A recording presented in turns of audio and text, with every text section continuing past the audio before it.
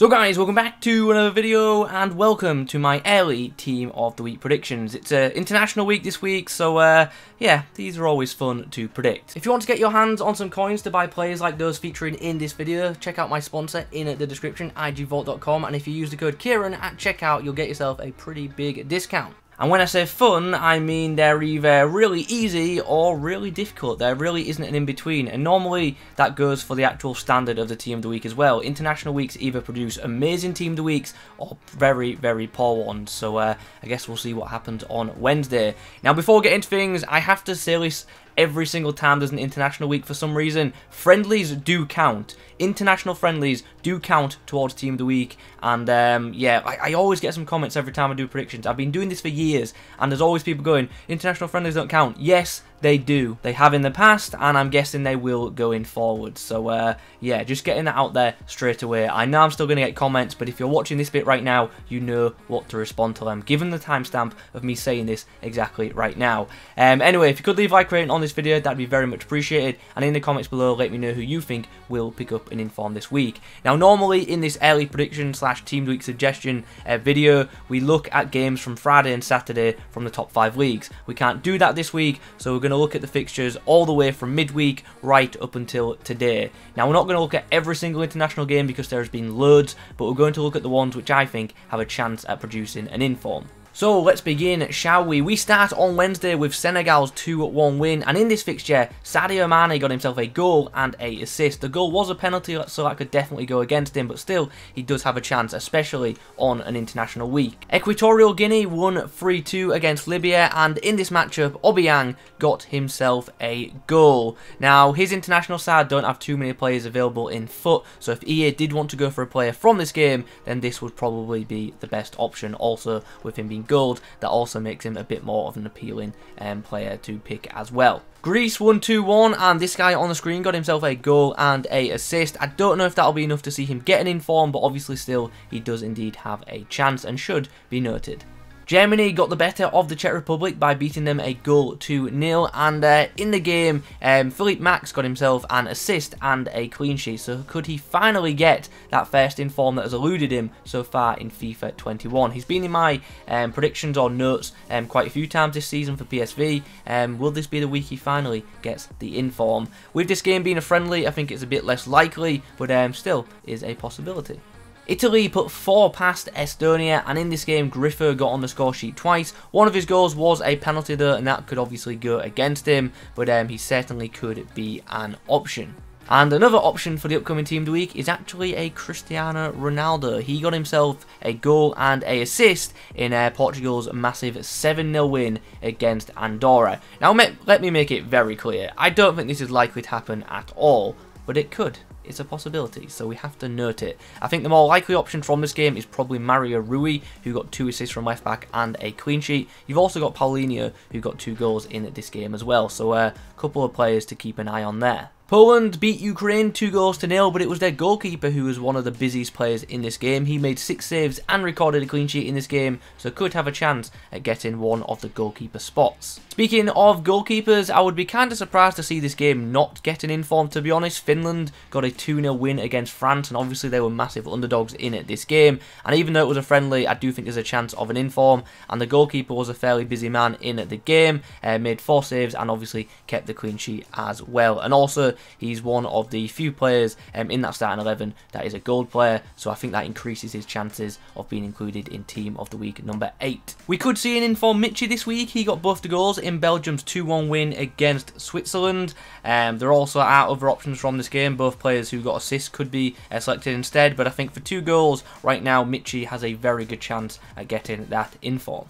Goran Pandev scored a really important goal as North Macedonia qualified for a big tournament for I think the first time ever. So because of that, even though it is one goal, I think this inform has a very good chance of happening. The issue is though that he's a silver player, so it's going to be hard to uh, see him get fitted in. But um, maybe we could see some hero cards this week, especially for the players who've scored goals, which have helped their nation qualify this week. Because uh, yeah, I think that's a possibility. Next, we have a player from Hungary who scored a 92nd minute winner for his side to give uh, his international team the win, and it was a really good goal as well. If you haven't seen it, I do advise looking it up. Kuka got himself a goal in Slovakia's 2-1 win against Northern Ireland, and I'm fully aware on his card it says Kuka, but um, in previous FIFAs he has been re referred to as Kuka. Unsure why the name change. If you know, let me know in the comments. Now this one I'm a bit unsure about, but um, I have to mention it. Scotland won on penalties thanks to uh, a late save from David Marshall, so maybe he could get in for that. But um, he didn't actually make too many saves in the actual 90 minutes, so I don't know if that one will happen. But um, worth a mention, of course. Moving over from the Euro qualification games now to the African Cup of Nations qualifications. Um, Aboubakar got himself two goals in a 4-1 win for Cameroon against Mozambique, so he certainly could be an option. And Andre Ayew also scored twice in a 2-0 win for Ghana against Sudan, so um, he could make it in as well. I swear he's one of them players that just seems to regularly pick up informs on international duty. Ivory Coast also beat Madagascar thanks to a goal from Gervinho and Seb Haller, so maybe one of them could get in, but um, ultimately I'm not too confident in one of them making it, if I'm being honest. One player who certainly could be picking up an inform this week, and is probably one of the more likely options, is Riyad Mahrez. He got himself a goal and a assist in a 3-1 win for Algeria, and um, this would actually be quite a nice inform if it was to happen. Burkina Faso won 3-1 and uh, Traore got himself two goals. Now he got a hero card a couple of weeks ago um, in Team of the Week so I don't think he'll be eligible to pick up an inform this week unfortunately but um, worth noting him nonetheless. Gabon got the better of Gambia thanks to a 2-1 victory. Aubameyang got the match winning goal but it was Bouanga who was involved in both of them. He got a goal and a assist so uh, I think it's fairly likely he could be making an appearance on Wednesday. And then we have another friendly match to discuss. England versus Ireland, and uh, in this game we have a couple of different goal scorers, Maguire, Sancho and Calvert-Lewin.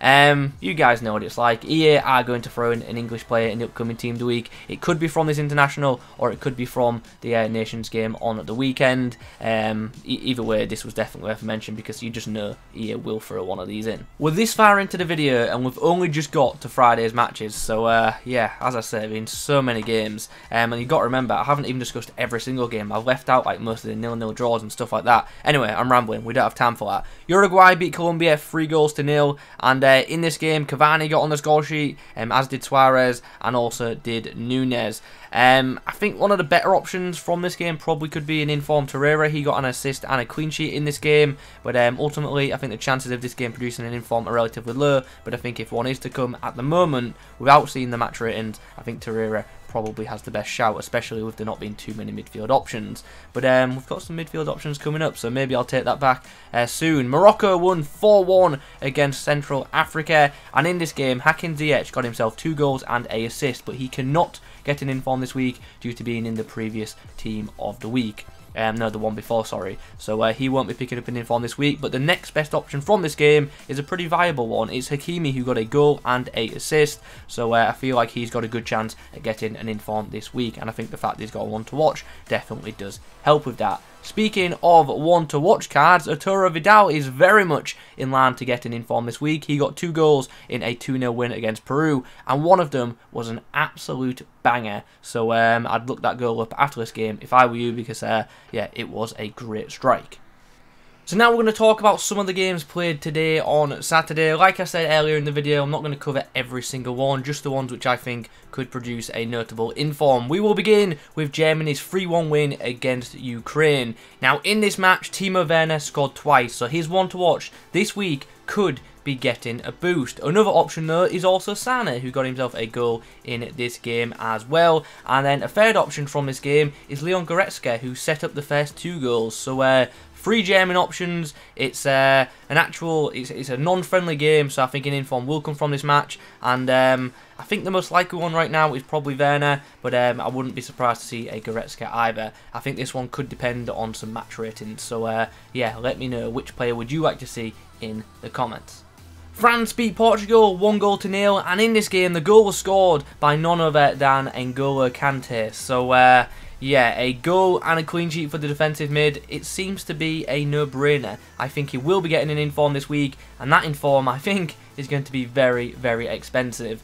A red Kante would certainly be a very, very good pick from FUT Champs Rewards, so hopefully this one happens. And then the final game we're going to discuss in this video today is the match between Switzerland and Spain, which did end in a 1-1 draw, but the goalkeeper Yann Sommer was super busy, and there's a very good chance he'll pick up an inform this week. So for those of you who like to do the FUT Champs upgrade packs, um, yeah, it looks like going forward you're going to be picking up a lot of Yann Sommers. He made two penalty stops in this game. Didn't keep a clean sheet, but was a very busy man. So uh, I still feel like he's got a very, very good chance of picking up the inform this week. So uh, yeah, looking forward to that one. So guys, there you have it. That is the early look at the upcoming Team of the Week. Be sure to check out my full Team of the Week 8 prediction, which will come out tomorrow night. And in that video, we'll cover every single international game, and we'll also cover all the domestic leagues that are still active as well. So be sure to look out for that for a more accurate prediction of what the upcoming Team of the Week could be looking like. Um, as always, if you could leave a like rating on the video, that'd be very much appreciated. And don't forget to be active in the comments too. Let me know your thoughts on the upcoming Team of the Week. Subscribe to the channel if you're new around here. Thanks for watching. I'll catch you in the next one.